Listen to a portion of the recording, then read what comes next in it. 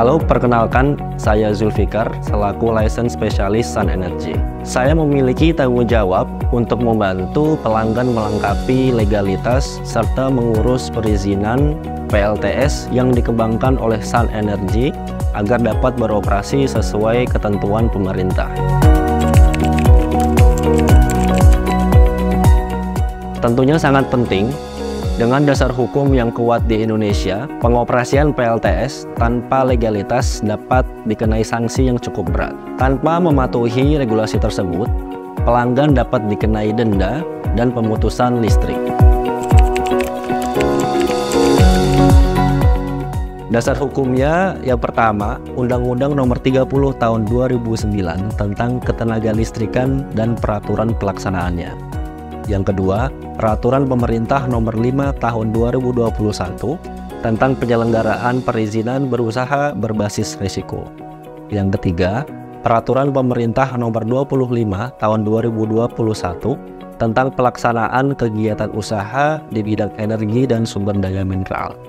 Keempat, Peraturan Menteri Energi dan Sumber Daya Mineral Nomor 11 Tahun 2021 tentang penyelenggaraan usaha ketenaga listrikan yang kemudian nomor 5 Peraturan Menteri Energi dan Sumber Daya Mineral nomor 26 tahun 2021 tentang pembangkit listrik tenaga surya atap yang terhubung ke jaringan pemegang izin usaha penyediaan tenaga listrik untuk kepentingan umum.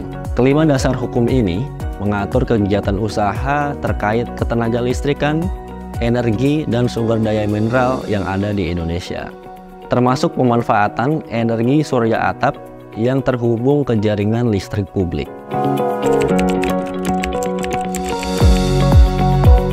Di Indonesia, perizinan pemanfaatan PLTS dibedakan sesuai dengan kapasitas PLTS yang akan dipasang, yang masing-masing memiliki alur perizinan yang berbeda. Pertama, PLTS dengan kapasitas di bawah 500 kW Kedua, PLTS dengan kapasitas di atas 500 kW.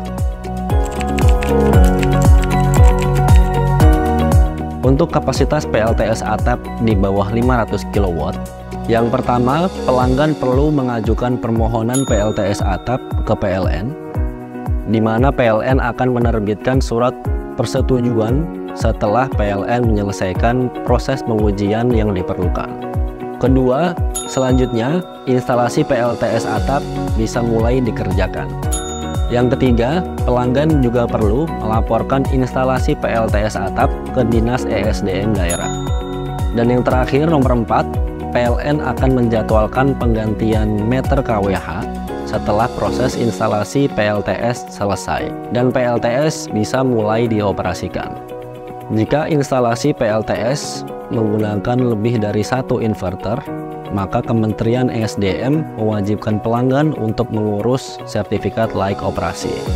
Untuk kapasitas PLTS atap di atas 500 kW, yang pertama, pelanggan perlu mengajukan permohonan instalasi PLTS atap ke PLN, di mana PLN akan menerbitkan surat persetujuan setelah PLN melakukan proses pengujian yang diperlukan.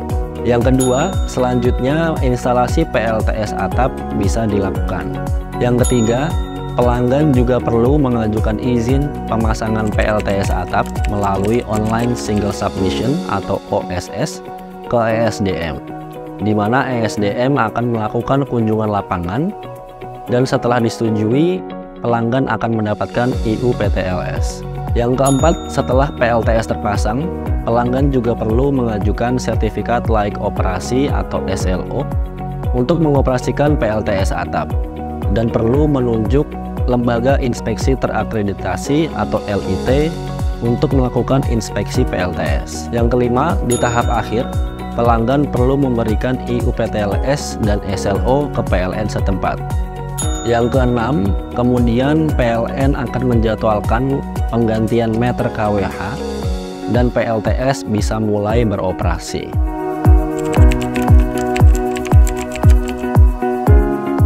Ada beberapa data teknis yang perlu diserahkan ke PLN dan kementerian atau dinas ESDM, meliputi analisis kebutuhan listrik, single line diagram, site plan, jenis dan kapasitas modul solar panel dan inverter, jumlah solar panel dan inverter yang akan dipasang, rencana jadwal pemasangan dan pemeliharaan, yang terakhir estimasi biaya pemasangan solar panel. Selain itu juga ada informasi perusahaan yang perlu diserahkan seperti data perusahaan, NPWP, NIB perusahaan, dan lain-lain.